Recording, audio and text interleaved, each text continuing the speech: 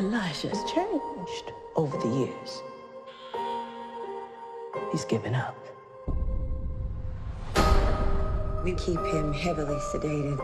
But there is a reason for that. He's too smart for them. You won't be lonely anymore. You have two new friends. Three of you think you have extraordinary gifts, like something out of a comic book. I've developed an effective treatment for this disorder.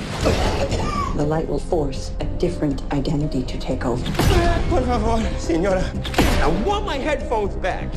Step away from the controls now, little doctor. Can't beat the beast! So you're not going to shake my hand and let me walk out of here? Good for you. What do you want? I am here to see if tales of the extraordinary being are true.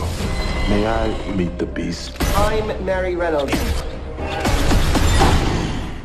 I need your abilities to get us all out of here and show the world we exist. That sounds like the bad guys teaming up. Do you believe you are an avenging angel, partner?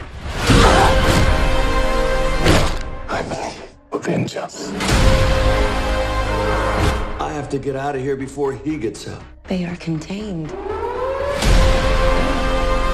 They always underestimate the mastermind.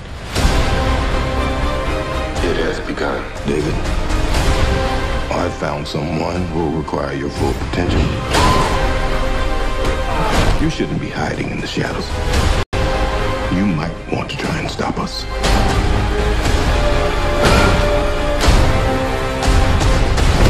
A lot of people are going to die.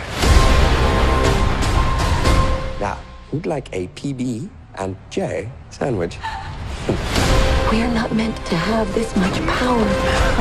Finally, all of us together for the world to see what we are capable of. You need to get out of here.